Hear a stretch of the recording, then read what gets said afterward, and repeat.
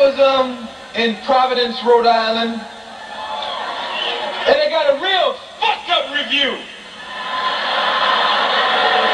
The critic dogged me out. Everything I said, critics said I wasn't even funny. Said I was I was fuck, and I wanted to fuck him up today. And I called a newspaper, and he wasn't there. It was like I couldn't. It was a dude named Bob Kerr, and I I really wanted to kick Bob's ass this morning. And I And I know that the critic for uh, Worcester Mass is here. And before you even write your review, in case you like Bob, I just want you to know, suck my dick right now, you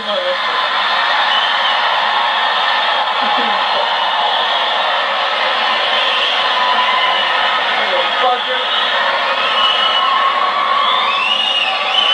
That shit, it makes you mad. You know, you don't when, when entertainers get fucked up reviews, that shit, you get, you wanna fuck somebody up, man. And I don't know if the critic, the critic here might like me. If you, if you like me, write something good. Thanks, but if not, you could suck on this motherfucker. I don't give a fuck. And they was talking all this shit about I uh, ghetto humor and I grab myself too much. I'ma grab my dick more times than ever tonight, you dirty motherfucker. Around with me. Just trying to make a buck telling some jokes. Get off my fucking back, okay?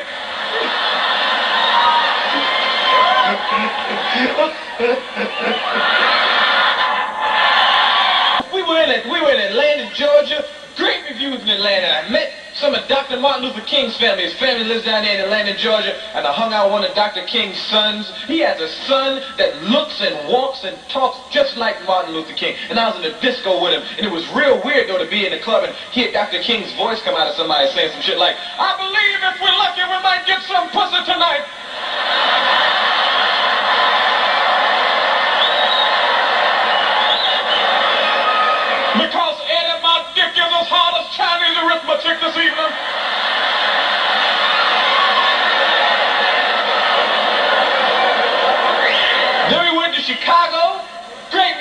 Chicago. Did the Oprah Winfrey show. Oprah Winfrey, she went on there. You know what happened? I did the Oprah Winfrey show, and she came and she asked me. I got a lot of trouble for this. I- she asked me what my preference was, right? And I said black women, okay? And for the past month, that's that's the black women saying, "Good."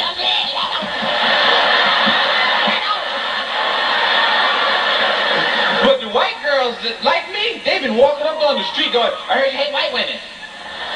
And I never said that. I said that my preference was a sister, because I'm a black man. Don't get me wrong. I'll fuck a white girl.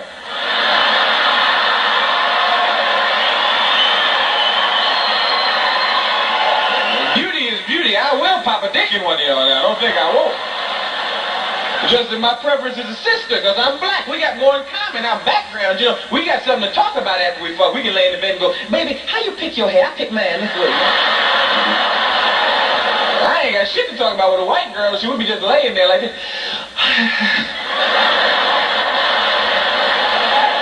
then you try to improvise and shit.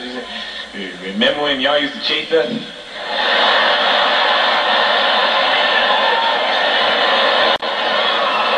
They let Madonna's husband out of jail last week, Sean Penn. He was in jail for beating people up. Always kicking somebody's ass. I wanted them to lock his ass up for a year. Because he was only in for a couple of weeks. And when you a big tough motherfucker like Sean Penn, you should go to a tough prison. He was in the pussy prison. Where you have like a living room and all that shit. I want him to put his ass in jail so you can see how tough he was. Because he was always beating up photographers and florists and shit like that, you know? You never see like a big black nigga standing going, Sean Penn just beat the shit out of me a few minutes ago. I want him to lock him up where he would be confronted by some brothers that would say, hey, Sean Penn, that's a pretty name, Sean.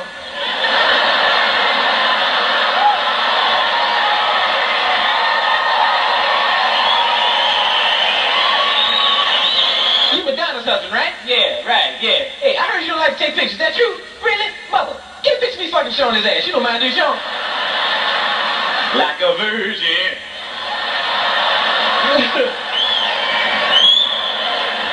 And Paul just dogged out Michael Jackson, was talking about how fucked up Michael Jackson was. And you people were sitting out there laughing at Michael Jackson. Y'all don't like Michael Jackson no more?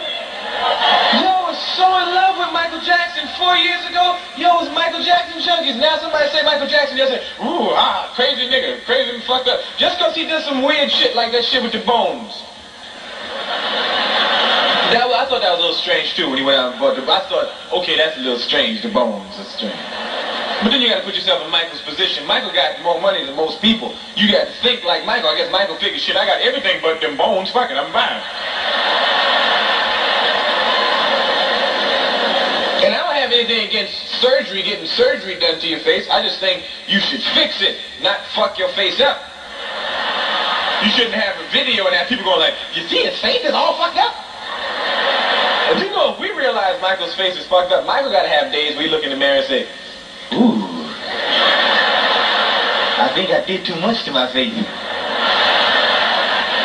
Mike fight this dude, Larry Holmes, that retired, worst athlete in the world. Talk about dude with no sportsmanship. Most boxers lose a fight. You say, you lost a fight, what happened? Boxer, I got to go back to the drawing board and get myself together. You ain't even laughing at me.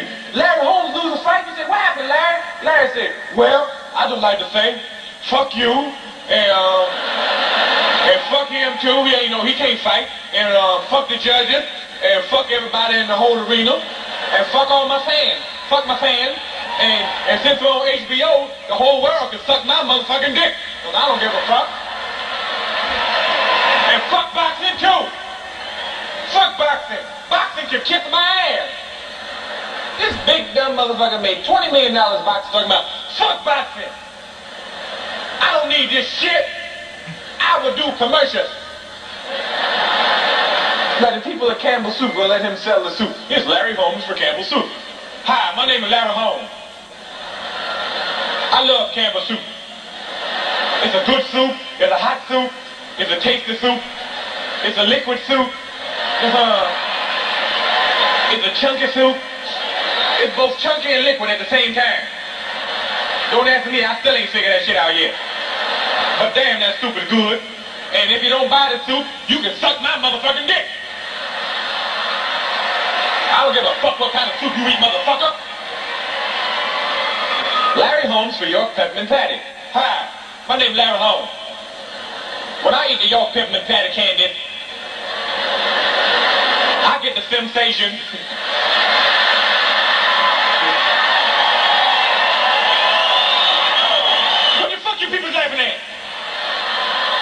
I said I get the sim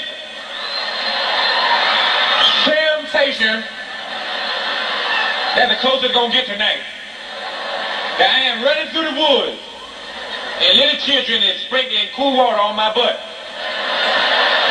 And goddamn that shit feel good. Where certain people getting do